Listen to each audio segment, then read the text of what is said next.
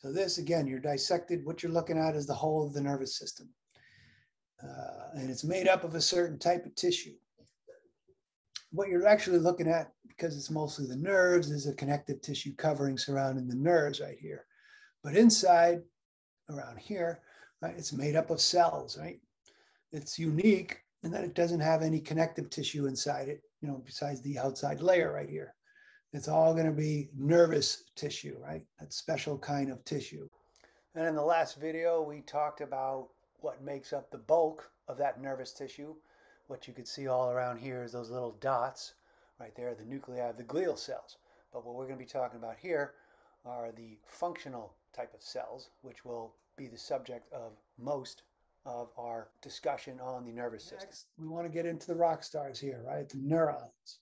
So we're going to talk about the different parts of it, which we've already mentioned a couple times. We get into a little bit more detail about what those are, right?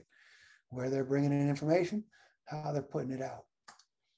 So the first part for terminology wise is like any other cell in your body, you have a cell, right? And this is often referred to as the soma. That's where you'll find the nucleus, a lot of the mitochondria, the ribosomes, right? Other stuff like that, right? Mitochondria, nucleus, nucleolus, very active cells, very active cells. But this is a cell body just like any other cell in your body, right?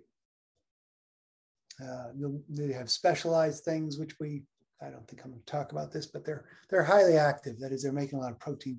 So you see a lot of rough endoplasmic reticulum and ribosomes. You'll also have a cytoskeletal element, which will provide structure for these long processes coming off right here these neurofilaments. All right, that's the cell body. Right? Now we're just talking about the roles of these, and the role of this is to maintain the cell's health. It's also going to receive signals on it. But the main thing when you want to think of receiving signals are these extensions off, in this case, in this kind of type of cell, the cell body. Right? There's extensions that can reach out and get information from over here rather than just over here. These are the dendrites. Right? The structure these are the dendrites. The function is to receive information, integrate that information, and maybe even store it as memory in a way we're not going to get into. But that is your dendrites receiving information, either from the environment or other neurons. Here is a dendrite, here's the cell body, here's another dendrite, here is another cell trying to influence it. And this one's saying, again, they're you know, they're trying to maybe get it to fire, right? put in all this positive signal over here, kind of like we saw with the neuromuscular junction. Maybe that will pass. We'll talk more about this next time.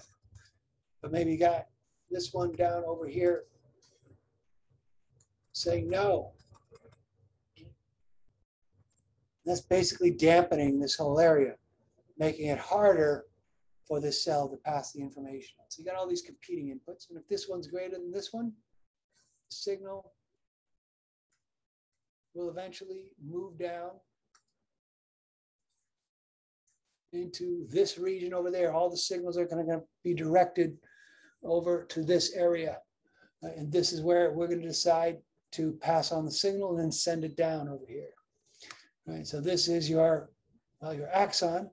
There's this long structure over here, just going to conduct the impulse down to the terminal cell, right?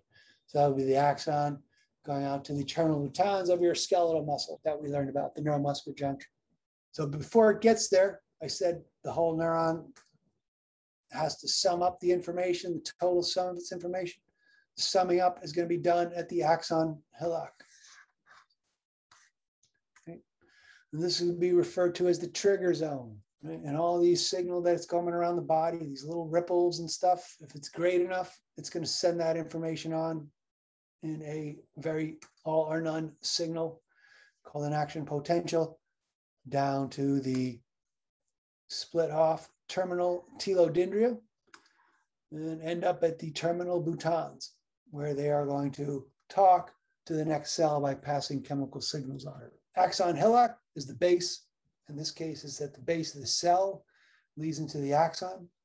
And that's where that signal is just going to be. This is the wiring of the neuron. Just pass that signal on if it's going to be passed. Right. So you got dendrite, you got the cell body, dendrites, you got the axon. Those are your basic parts right there that you want to know. So for those signals going through a single neuron over here, they're going to be picked up by the dendrites, no matter what they look like? Coming from all over the body. They could be from over here, coming in over here, and they're all kind of directed toward the cell body in this case, right?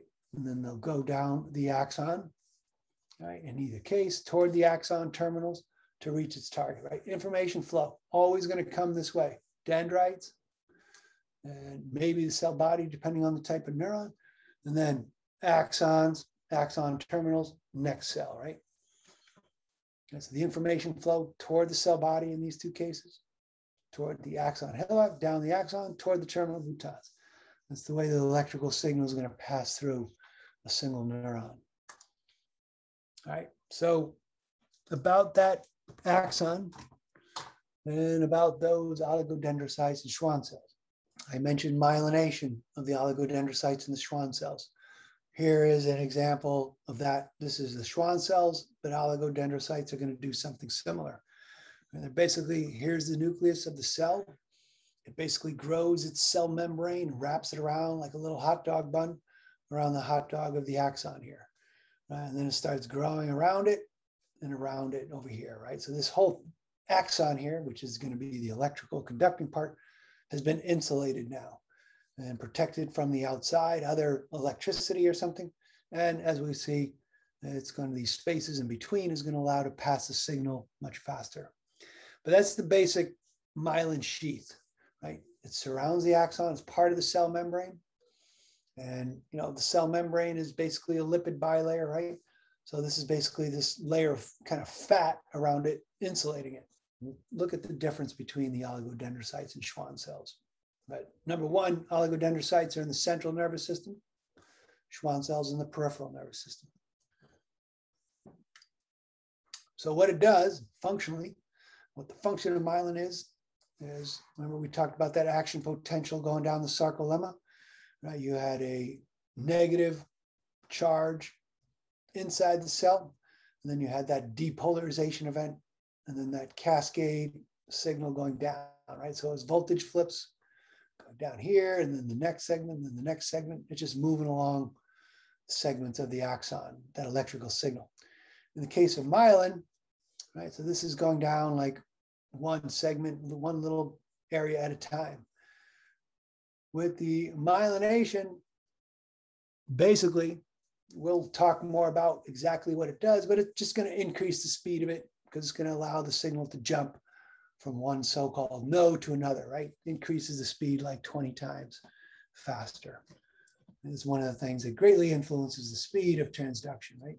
So when you're, remember that signal that came from your kneecap all the way into your spinal cord and then back out to your rectus femoris to make you kick out during that knee jerk reflex? The speed of that was due to the myelination the other interesting thing about this is this is a developmental thing. Like when you're a baby, even up till you know when you're like 20 or something, especially certain parts of your brain uh, don't have myelination, and they take a little bit longer, right? So part of like memory and stuff, and part of like training and stuff is to kind of influence the level of myelination, right? So like teenagers, for instance, and young adults, some parts of their brain that are responsible for controlling impulsive behavior are not myelinated yet. And that's why they have a lot more trouble, supposedly.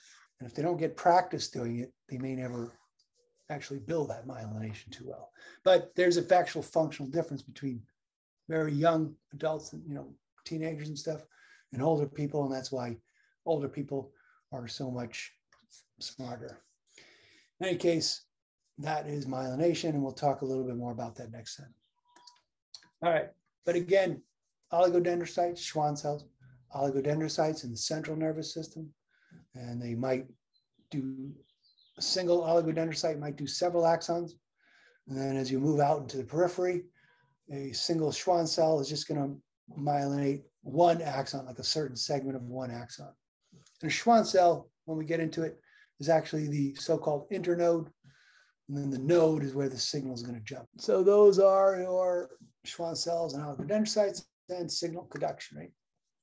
Again, let's look at the path of an electric signal within a single neuron, right? As it goes through a neuron and passes to its final destination, right?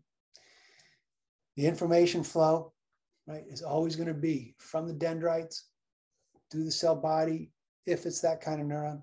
Some have their dendrites directly connected to the axon, but the input's going to be a one-way flow. Right? There's going to be an input, a summation, and then an output, right? From the dendrites or cell body toward the axon terminal, right? One way, doesn't go backwards, right? Always just one way right here. There's an input and there's an output. And I often use terms like the input into the nervous system, and then the output is this or that, right? Information flow down a single individual neuron.